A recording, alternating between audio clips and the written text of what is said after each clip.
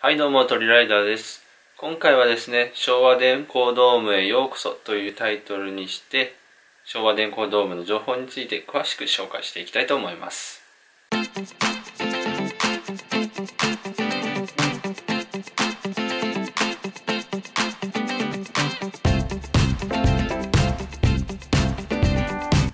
ではまずアクセス情報についてご紹介していきます。昭和電工ドーム大分へのアクセス方法としては主に2つありまして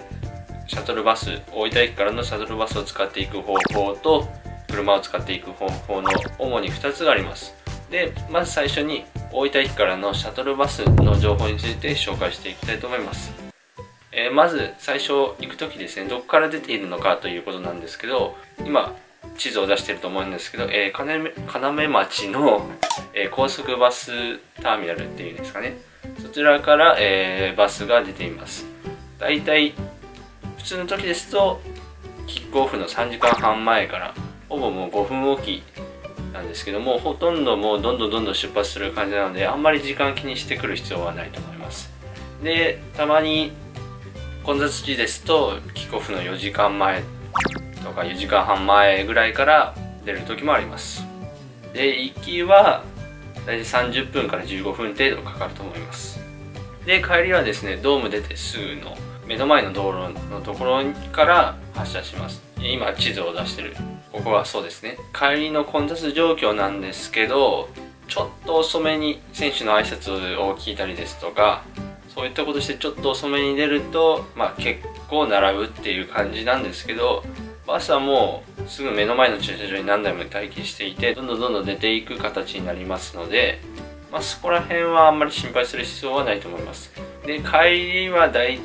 たい1時間ぐらいはかかると思いますはい、それでは駐車場情報の方についてご紹介していきたいと思います。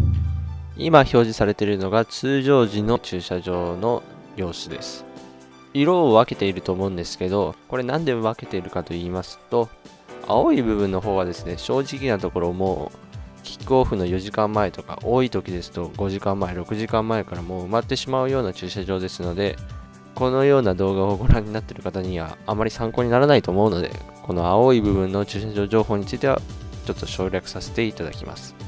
で、黒いと白の分で書いている CBAH のこの4つの駐車場の情報についてご紹介していきたいと思います。ではまずそれぞれの駐車場について、え何時間前に行けばいいのかなどを含めまして、えそれぞれ特徴を述べていきたいと思います。まず C 駐車場ですね。C 駐車場はおおよそなんですけど、観客数が多い時でだいたい4時間半前ほど。で、通常時ですと3時間半前ぐらいにはもうちょっと埋まってる感じですね。例年は2時間前ぐらいに行けば止められたんですけど、ちょっと最近はどんどんこの満車する時間が早まってる傾向ですね。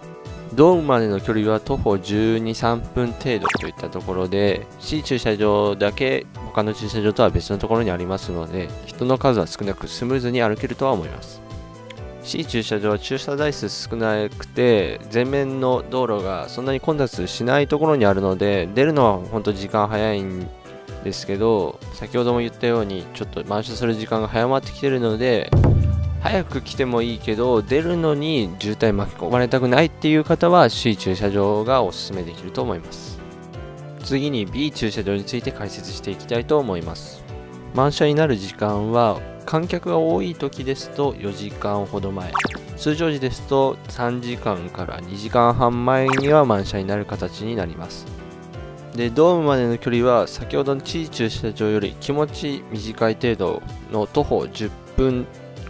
ちょいぐらいになってます。多分こちらの駐車場一番目につきやすい場所にあるので止める方多いと思うんですが多分一番出るのに時間がかかる駐車場だと思います。いい駐車場ですとか路中の分が一気に同じ交差点に流れてきますので出るのに通常時で1時間ほどは絶対かかります。でこちらの駐車場は出るのに時間はかかってもいいけど歩きたくないですとかあとメラインターチェンジの方に行かれる方にはおすすめだと思います。次に A 駐車場です。こちらの駐車場は観客数が多い時ですとだいたい2時間ほど前。通常時ですと1時間ほど前には埋まる感じですね。ドームまでは徒歩15分から20分程度と先ほどの2つよりかは少し距離のある駐車場となってます。でこちらの駐車場使ったことある方でも知らない人いると思うんですけど出口が2つありますので先ほどの B 駐車場よりかは車のはけはいいです。なので歩いてもいいけど早めに渋滞せずに出たいという方にはおすすめの駐車場だと思います。次は H 駐車場です。H 駐車場は混雑時ですと1時間半前から1時間ほど前には満車になる形で通常時ですと満車にならない時もあります。でドームまでの距離は先ほどの A 駐車場とほとんど同じ15分から20分程度となってます。でこちらの駐車場は前面道路がそんなに混雑してないので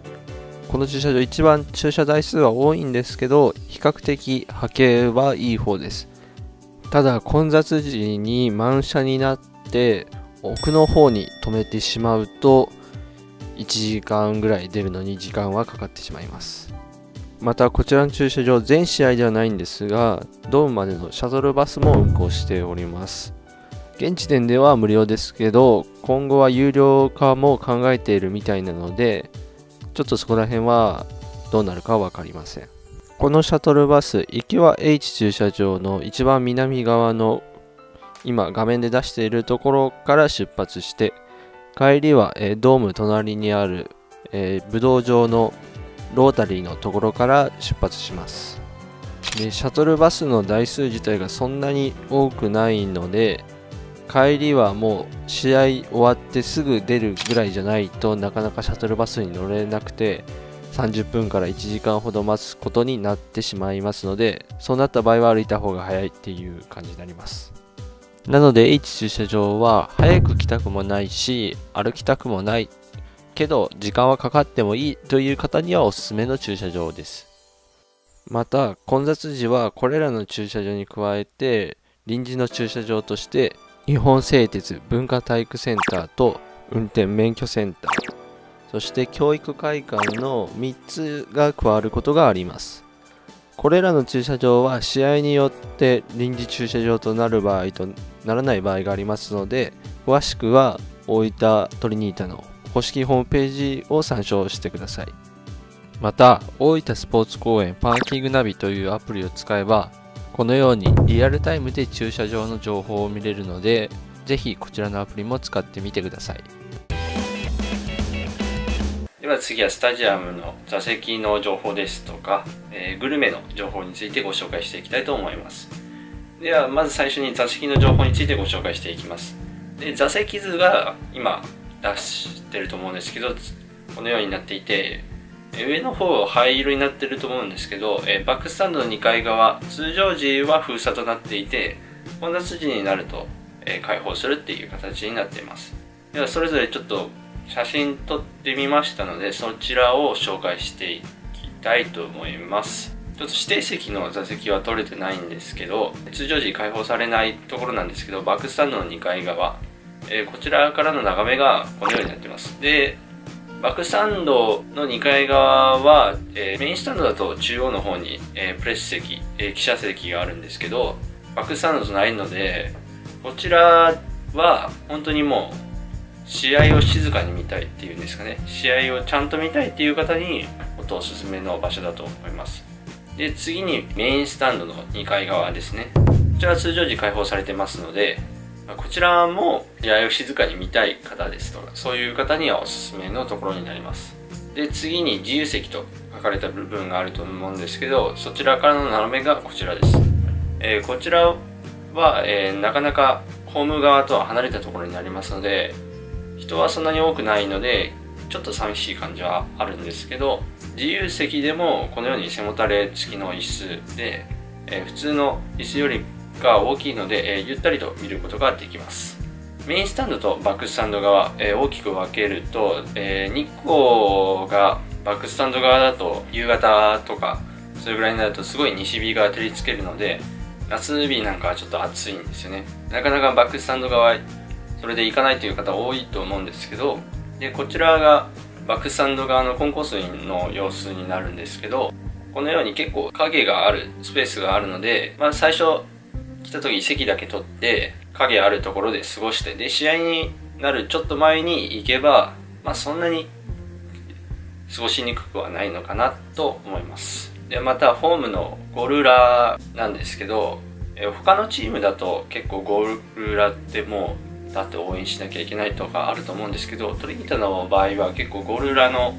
席数が多いので端っこの3ブロックとかそれぐらいでしたらまあこれがいいのかわからないんですけど座って応援してる方も結構多いので応援も楽しめながら、まあ、座ってゆっくり見ることができるのかなと思います。個人的にはここの座席が結構好きです。では次にスタジアムグルメのことについて触れていきたいと思います。スタジアムグルメになるかはわからないんですけど他のサッカー系の YouTuber さんがおっしゃってたんですけど昭和電工ドーム、えー、自販機が結構あります。でしかも他外で売ってる通常と同じ価格で自販機売っています。で僕これこの YouTube の動画を見て確かにそうだなって思ったんですけど他のスタジアムそんなに多くはないんですけど見てきて確かにないなって思ってこれは昭和電工ドームならではだなと思ったので夏場なんかはですね早めに買って持っておくと、えー、ぬるくなってしまうのでまあドーム内で買うのも全然ありなのかなと思います。スタジアムのグルメの方ですね。で自分がおすすめするのがこちらの今写真出してると思うんですけど北焼きそばですね。こちらが600円となってまして焼きそばなんですけどもやしが入ってて結構パリパリした食感で自分個人的にも結構好きなグルメとなってます。もう一個おすすめなのがこの鶏ニータ鍋っていうものになります。鶏ニータ鍋は食べたことある方いらっしゃるとは思うんですけど大分県とかあと熊本県ですねの名物の団子汁のスープに団子麺とあの平打ちの麺ですね。でうどん。でちゃんぽん麺。どれか3つを選べるっていう形になってます。これも600円で、まあ、暑い日なんかはちょっときついんですけど寒い日とかは本当におすすめのグルメで結構量もあるのでお腹いっぱい食べれると思います。であとは、まあ、大分といったら唐揚げっていう風になると思うんですけど唐揚げこちらになるんですけどこちらも600円で結構な量入ってます。でスタジアム来たらまあ運転する方はダメなんですけどビール飲みたいという方もいらっしゃると思うんですけどビール通常600円するんですけど先ほどの3つのグルメですね。こちらとセットで1000円になるっていうセットもあります。個人的にはおすすめかなと思います。で初めて来る方なんかは先ほど駐車場情報を述べたと思うんですけどキックオフの4時間前とか3時間前とかえそんな早く来なきゃいけないの？っていうふうに思った方多いと思うんですよね。じゃあ何すんの？っていう方ご安心ください。結構そちら、えー、大分トリニートの方頑張っております。スタジアム内に入れるのが通常一般のチケットの方ですと2時間前からなんですけどその西口の方にですね西口ニータンパークという形でこのような感じで動画流したりながらしてると思うんですけど屋台だったりとかあとイベントのステージですね。あとこう今撮った試合ですと夏場だったのでプールとか、えー、ウォータースライダーみたいなのも設置されていて結構縁日っていうような雰囲気で早く来ても楽しめる風になってると思います。でこちらの映像はちょっと観客が多い時の映像ですので普段だともうちょっと寂しい感じにはなるんですけど食べ物も結構食べられたりですとかお子さんが遊べるようなそういった施設もあったりグッズ販売とかもありますので、まあ、早めに来ても全然楽しめるのかなと思います。また外で過ごすの暑いなって思われる方も多いと思うんですけど隣に、えー、武道館ができましてこちらの中のロビーだと結構クーラー効いて涼しく過ごせますので外で過ごすのは暑いな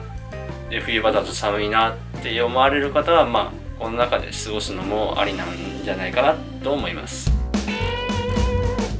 といかがだったでしょうか、えー、ちょっと動画の方長くなってしまったと思うんですけどまあ、結構詳しく紹介できたのかなと思います。まあ、ぜひですね。昭和電工ドーム。ちょっと遠いんでなかなか足